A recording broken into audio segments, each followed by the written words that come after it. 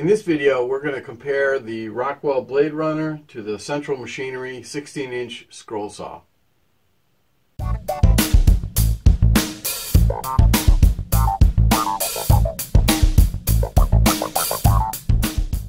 The BladeRunner I've seen listed for about $130 all the way down to 90 maybe $95 and it certainly is available online.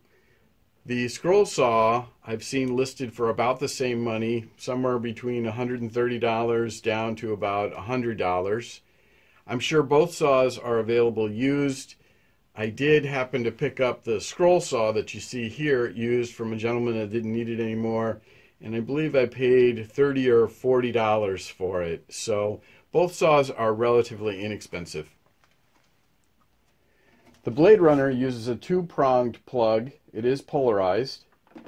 While the scroll saw uses a three-pronged plug, this is a grounded plug. Both machines use standard 110 volt AC 60 hertz power. Both of these saws are pretty portable. In fact, the BladeRunner has a built-in handle, and of course not that heavy. The scroll saw, although it doesn't have a built-in handle, you can certainly grab it by the upper arm and pick it up, or of course use two hands. So both of these saws are pretty portable. Now I'm going to turn on both saws one at a time so you can compare how loud they are. We'll start with the scroll saw. We've got the speed control rotated all the way counterclockwise, so this is the slowest speed of the saw. We'll speed it up to full speed. That's how loud it is. Now we'll turn on the BladeRunner, and I think you'll hear the difference.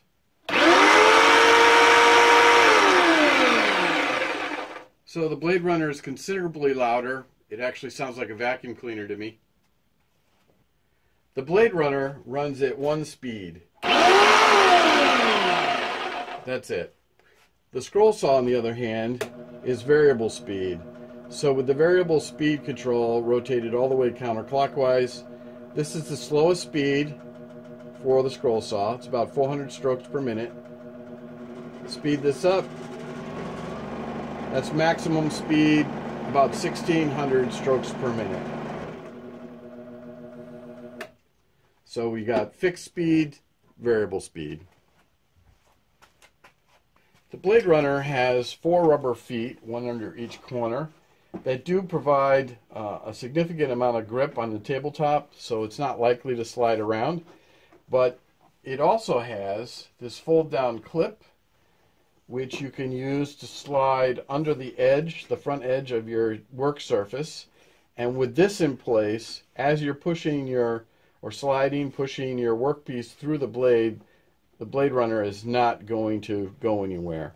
The scroll saw, on the other hand, has four rubber grommets located in each of the four mounting holes. That gives it a little bit of grip on the tabletop. And in addition, the, the saw is heavy enough, so you have to push it pretty hard in order to get the saw to slide on your tabletop. The BladeRunner has a tabletop that's always at 90 degrees or perpendicular to the saw blade installed. The scroll saw, on the other hand, has a tilting tabletop.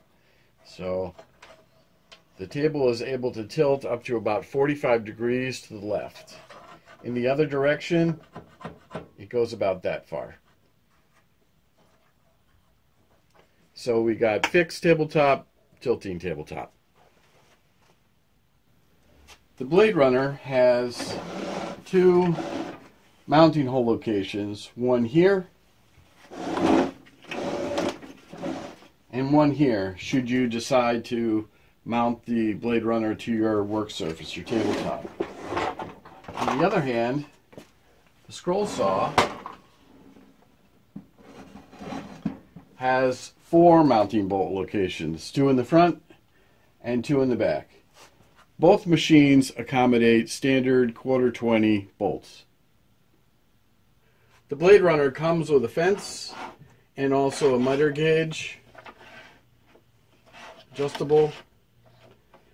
whereas the scroll saw doesn't have any facilities for that. The BladeRunner has uh, the ability to connect a dust collection hose or vacuum cleaner hose right here.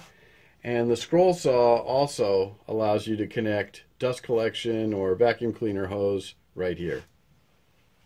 The BladeRunner relies exclusively on a separate vacuum attachment here, a dust collection system or a vacuum cleaner, to help draw away the dust from your cut. The scroll saw, on the other hand, uses a bellows mechanism that's built right into the saw to help produce little puffs of air which blow away the sawdust from the cut. So here we've got vacuum done through an extra vacuum source like a dust collector or a vacuum cleaner. And here we have positive pressure, little puffs of air from a bellows mechanism that's built right into the saw. The BladeRunner uses standard T-shank jigsaw blades. There's a wide variety of these blades available in the marketplace. You can get blades that will cut wood, both softwood and hardwood. You can even get blades that will cut some metals, and you can also get blades that will allow you to cut ceramic tile. So there's a lot of different kinds of material you can cut with a BladeRunner based on the kind of blade you get. The scroll saw, this scroll saw, uses 5 inch pinned blades. There's a variety of blades that you can get that this saw can use. I think most people probably use this saw to cut primarily wood, although if you get the appropriate blade, you can cut other kinds of material as well. The BladeRunner holds on to one end of the blade. The other end is kind of free.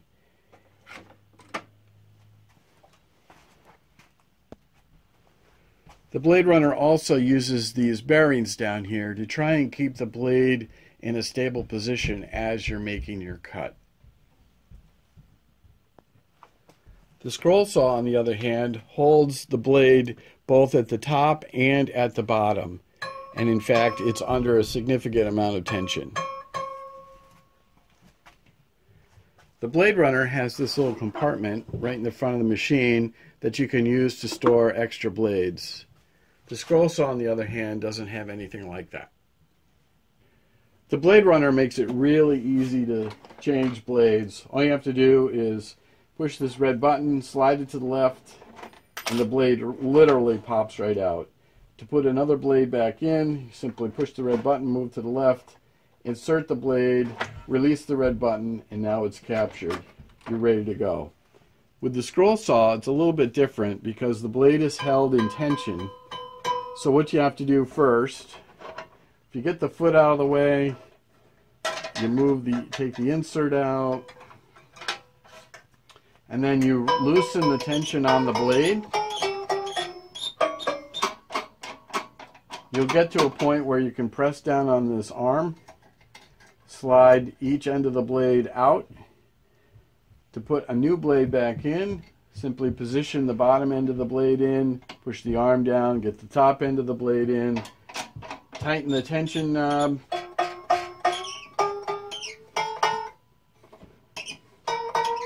Get some tension back on the blade and reinsert the insert. Adjust your foot based on your workpiece and you're good to go. With the BladeRunner, there's only one way the blade can go in.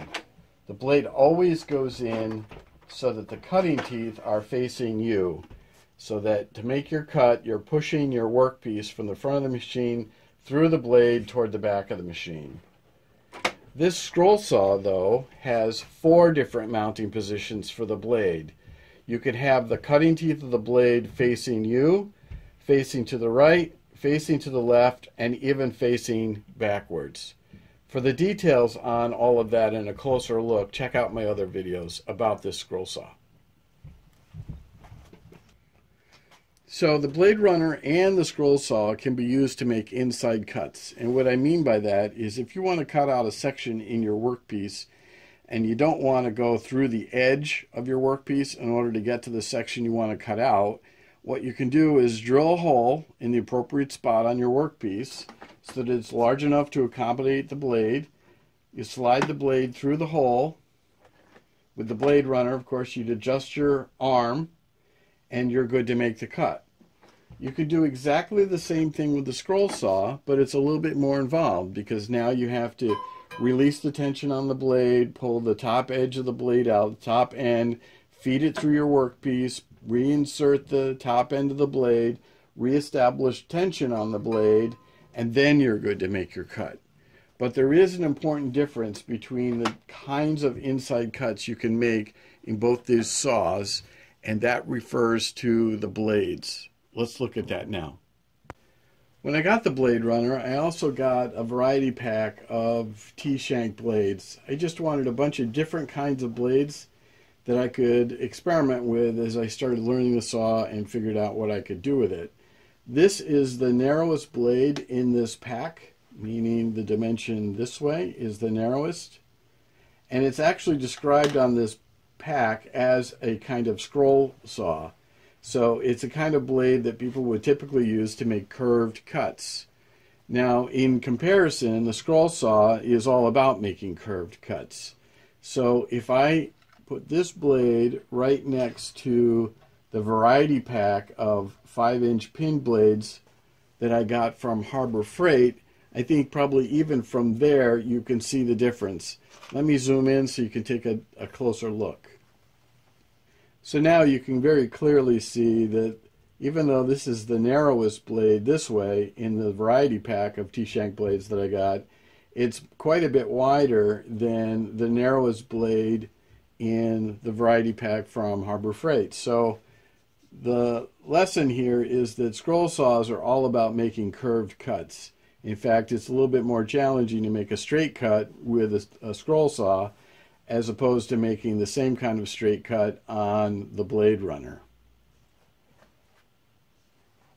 In addition, it's probably obvious to you that the narrower the blade, the tighter the turn you could make when making your cuts. So even though this is a scrolling type blade for the BladeRunner, you're not going to be able to make as tight a turn using this blade on the BladeRunner as you would be able to make using this scroll saw blade on this scroll saw. It's so much narrower so you can make a much tighter turn. So once again it boils down to the kind of cut you want to make as to what kind of blade you're going to use. So basically, a BladeRunner can be thought of as an inverted jigsaw. That's basically what a BladeRunner is. While the scroll saw is basically a motorized coping saw. Well, I hope this little comparison video between Rockwell's BladeRunner and Central Machinery's 16-inch variable speed scroll saw was helpful. Thanks so much for watching, and we'll see you next time.